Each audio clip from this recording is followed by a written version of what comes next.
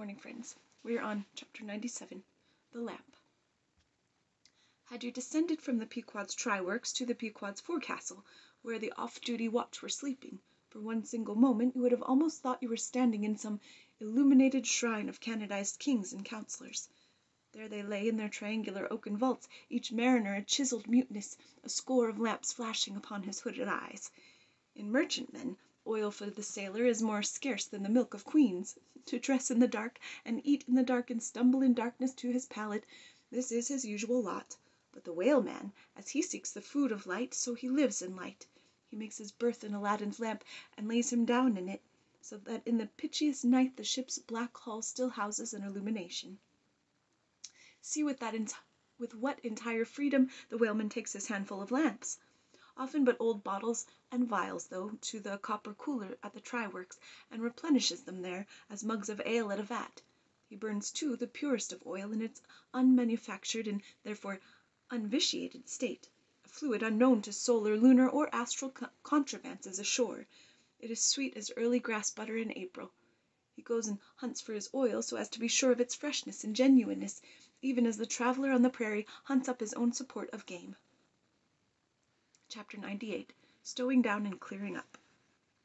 Already as it has been related, how the great Leviathan is afar off descried from the masthead, how he is chased over the watery moors and slaughtered in the valleys of the deep, how he is then towed alongside and beheaded, and how, on the principle which entitled the headsman of old to the garments in which the beheaded was killed, his great padded surtout becomes the property of his executioner how in due time he is condemned to the pots, and like Shadrach, Meshach, and Abednego, his spermaceti oil and bone pass unscathed through the fire.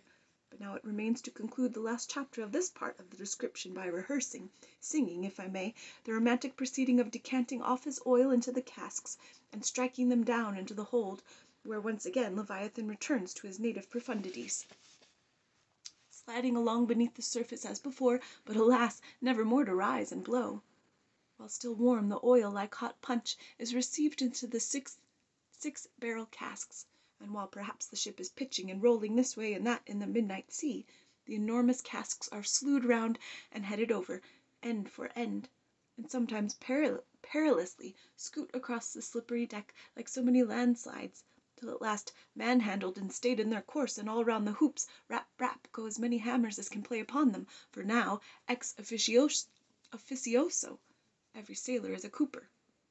At length, when the last pine is cast, and all is cool, then the great hatchways are unsealed, the bowels of the ship are thrown open, and down go the casks to their final rest in the sea.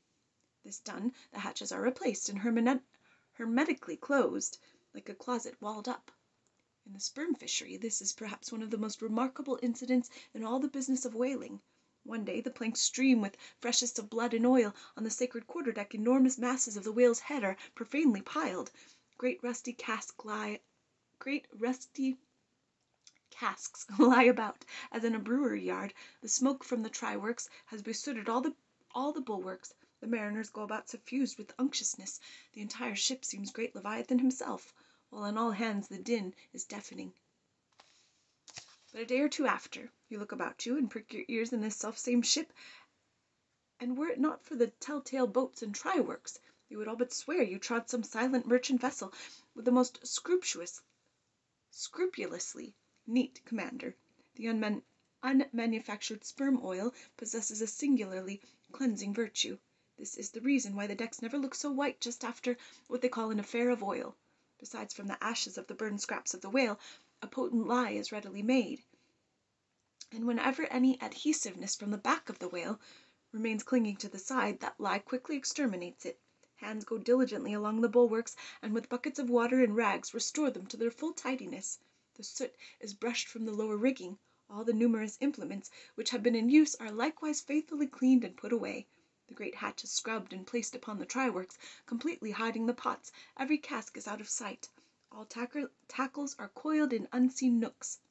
And when, by the combined and simultaneous industry of almost the entire ship's company, the whole of this conscientious duty is at last concluded, then the crew themselves proceed to their own ablutions, ship themselves from top to toe, and finally issue to the immaculate deck, fresh and all aglow as bridegrooms new leaped from out of the daintiest Holland.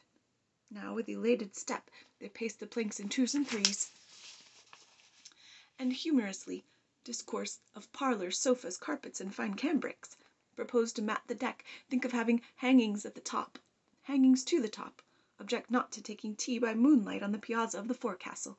To hint at such musked mariners of oil and bone and blubber were little short of audacity.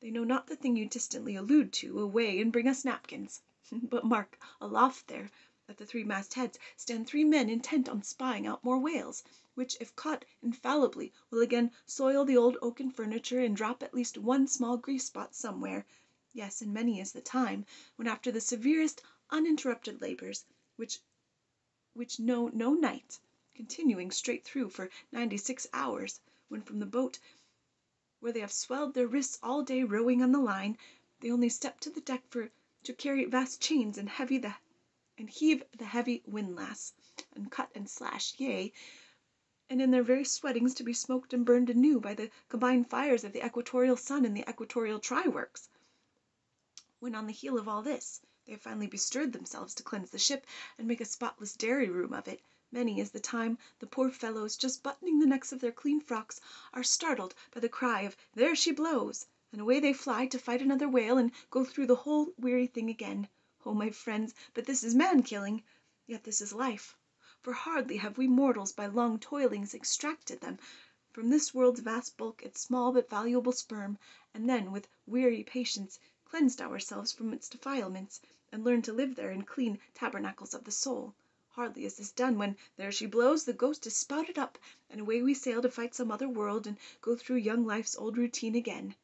Oh, metempsychosis! O Pythagoras that in bright Greece, two thousand years ago, did die, so good, so wise, so mild, I sailed with thee along the Peruvian coast last voyage, and, foolish as I am, taught thee, a green, simple boy, how to splice a rope. Have a good day, friends.